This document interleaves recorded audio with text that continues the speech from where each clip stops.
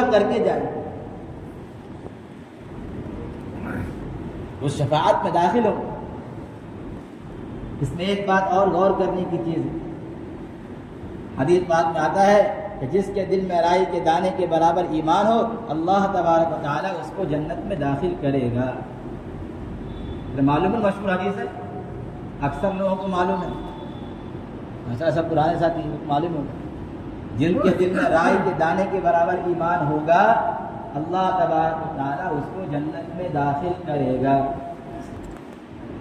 لیکن اس حدیث میں دیکھو، اللہ تبارک و تعالیٰ کیا فرما رہے ہیں؟ جاؤ جس کے دل میں رائے کے دانے کے برابر بھی ایمان ہے، اس کو جہنم سے نکال کے لاؤ۔ سمجھنے والی بات۔ ہے رائے کے دانے کے برابر ایمان والے کہاں ہیں؟ جنت میں کی جہنم میں؟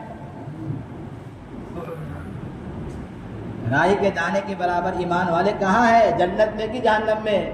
ہمیں رائے کے دانے کے برابر ایمان پر اللہ کا وعدہ ہے، جنت ملے گی، جہنم سے بچنے کا وعدہ نہیں۔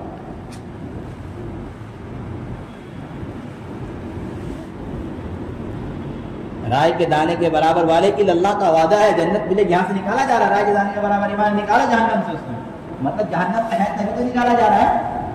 نہیں رہتے کیسے نکالا جاتا؟ ہے رائے کے دانے کے برابر جو ایمان ہے، وہ جہنم میں ہے۔ اس کو وہاں سے نکال جنت میں پہنچایا جائے گا۔ اس میں کوئی شک کی بات نہیں ہے کہ اللہ کے نبی نے جو کہا ہے کہ رائے کے دانے کے برابر ایمان والے، اللہ اس کو جنت دے گا۔ بالکل حق اور سچ بات ہے، لیکن اللہ کا وعدہ جہنم سے بچانے کا نہیں ہے۔ ذرا سمجھنے والی بات۔ اللہ کا وعدہ جہنم سے بچانے کا نہیں ہے۔ ایمان رائے کے دانے پر، ایمان، رائے کے دانے کے برابر ایمان پر جنت ملے گی، یہ وعدہ ہے۔ ڈائریکٹ جنت ملے گی، اس کا وعدہ نہیں۔ اللہ کسی کو ڈائریکٹ ڈال سکتا ہے، وعدہ نہیں۔ اللہ کی مرضی ہے۔ قانون تو یہی ہے، پہلے جہنم میں جا کے تو جنت نکلو۔ پتہ یہ چلا کہ اگر ہم چاہتے ہیں کہ ہم جہنم سے بچ جائے کامل ایمان کا ہونا ضروری ہے۔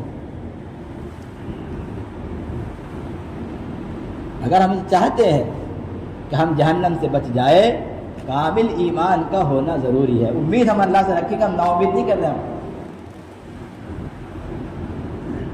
نا امید نہیں کر رہے امید ہے۔ امید تو رکھنا ہے۔ اور کامل ایمان کے حصول کی کوشش بھی کرنی ہے۔ یہی بتلانا چاہ رہا ہوں میں کہ رائے کے دانے کے ایمان کے برابر، رائے کے دانے کے برابر جو ایمان ہے، اس پر اتفاق نہیں کرنا ہے۔ کتنی سی ایمان مل کے کافی ہے۔ اتفاق نہیں کرنا۔